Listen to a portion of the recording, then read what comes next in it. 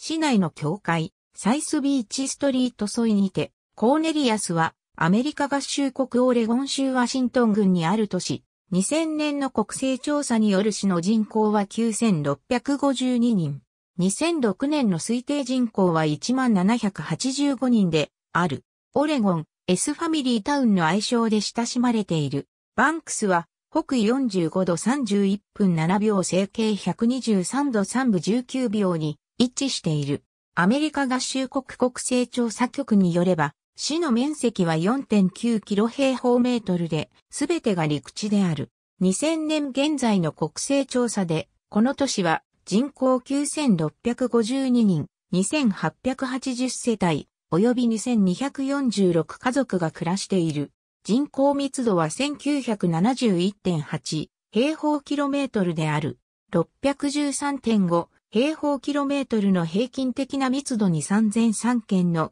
住宅が建っている。この都市の人種的な構成は、白人68.61%、アフリカンアメリカン0.76%、先住民1.24%、アジア1.04%、太平洋諸島系0.28%、その他の人種24.32%、及び根血3.76%である。人口の37.39%はヒスパニック、またはラテン系である。2、880世帯のうち45.3%が18歳未満の子供と一緒に生活しており、61.8%は夫婦で生活している。10.4%は未婚の女性が世帯主であり、22.0%は結婚していない。15.9%は一人以上の独身の居住者が住んでおり、5.4%は65歳以上で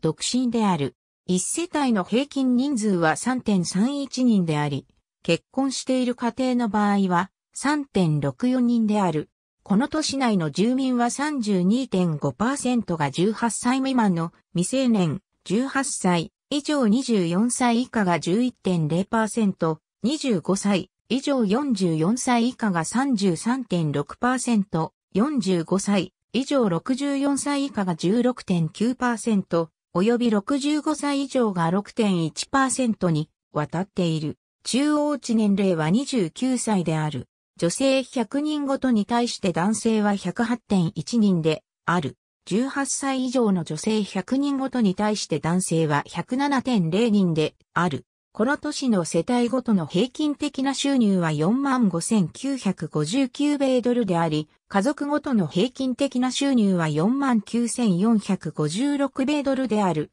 男性は32,164米ドルに対して、女性は25,207米ドルの平均的な収入がある。この地域の一人当たりの収入は15,290米ドルである。人口の16.1%及び家族の10.8%の収入は貧困線以下である。全人口のうち18歳未満の17.6%及び65歳以上の10.5%は貧困線以下の生活を送っている。1845年、ジョセフ・ミークと行動を共にしていたベンジャミン・コーネリアスが家族でオレゴン州に移住した。コーネリアス一家は現在のノースプレーンズの近く、トゥアラティンプレーンズに居を構えた。同年、ベンジャミン・キュータッカーとソロモン・エメリックが区画を整理し、後にコーネリアスとなる地に農場を建設した。当時、この地域はフリー、オーチャーズと呼ばれていた。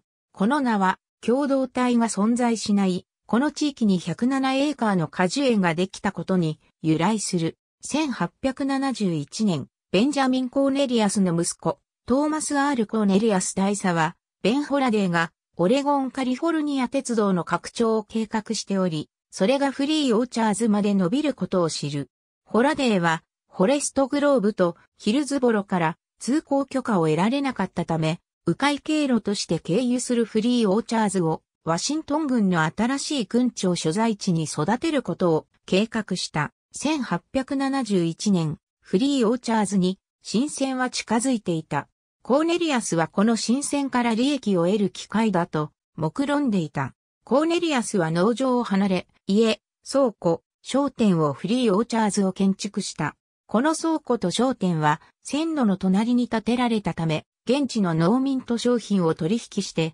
それらを販売するうってつけの場所になった。また、コーネリアスは、牛乳加工用の乳製品製造所や、木材を売る二棟の製材工場を建設し、成長する同地域を支援した。さらに、コーネリアスは、同地域で最初の学校校舎とメッソジスト教会を建築した。1893年、フリーオーチャーズは法人化し、長年にわたって地域の発展に尽くしてきた人物を称えて、コーネリアスの名に解消された。ホラデーのフリーオーチャーズ群町所在地化計画は実現しなかったが、コーネリアスは現在でも農業の町として存続し、ポートランドのベッドタウンとして急速に発展している。ありがとうございます。